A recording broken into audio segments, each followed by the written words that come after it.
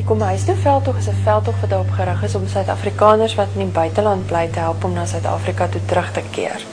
En ons probeer ook om inligting te gee aan mense wat van voorneme is om te immigreer, sodat hulle kan weet wat die lewe in die buiteland behels en dat hulle weet of hulle 'n goeie keuse maak om te immigreer of nie.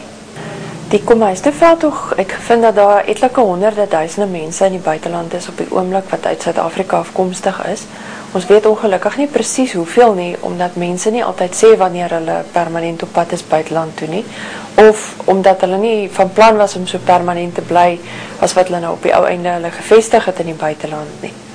Oor die afgelope 5 jaar het ons ongeveer 4000 mense gehelp om met hulle gesinne terug te keer na Suid-Afrika toe en op die oog af mag 4000 uit hierdie 100000 nou min lyk. Maar ons navorsing het ook aangetoon dat elke hoërskoolde Suid-Afrikaner wat terugkeer werk vir ongeveer 10 ander Suid-Afrikaners direk of indirek skep. Die mense wat terugkom kry gewoonlik werk. Op die oomblik is daar baie werksgeleenthede in Suid-Afrika. Hulle is ook altyd welkom om hulle CV's vir ons te stuur voor hulle nou die terugkomproses aanpak sodat hulle eers kan sien watter geleenthede is daar en hoe lyk die salarisse vergelyk dit positief met wat hulle verdien in die buiteland op die oomblik en daarvolgens kan hulle dan besluit of dit sinvol is om terug te keer Suid-Afrika toe boodskap vir mense wat op die oomblik in die buiteland is is hou kontak met ons al wil julle dalk nie noodwendig dadelik terugkeer nie. Mense weet nooit wat met jou in die toekoms gebeur en hoe jy oor 10 jaar gaan voel oor die saak nie. So hou kontak met ons en as dit enigstens moontlik is, kom terug huis toe.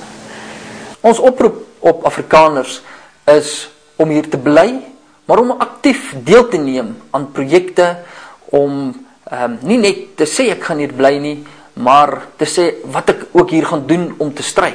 En om dit te kan doen het ons besluit om 'n blynet omgewing te skep, 'n blynet netwerk te skep. Die kern van die blynet netwerk is die blynet webwerf. Die webwerf is www.blynet.co.za. En op hierdie webwerf kan jy gaan 'n besoek aflê. Jy kan gaan sien wie's die ander blynetters in Suid-Afrika. Julle klomp duisend van hulle.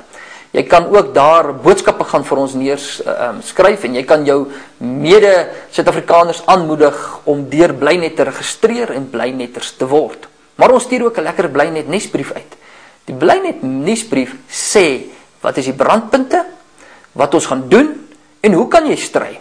Dit gee vir jou 'n platform. Dit sê vir jou hier is 'n aksie waardeur jy dalk kan armoede um, help. Dit sê byvoorbeeld Hier um, is 'n geleentheid om te gaan proteseer by 'n hof um, oor misdaad of enige manier hoe om betrokke te raak op verskeie fronte. So besoek die bly net webwerf, sorg dat jy daar registreer en kry die bly net nuusbrief en daardeur kan jy betrokke raak. I love you. Come back home.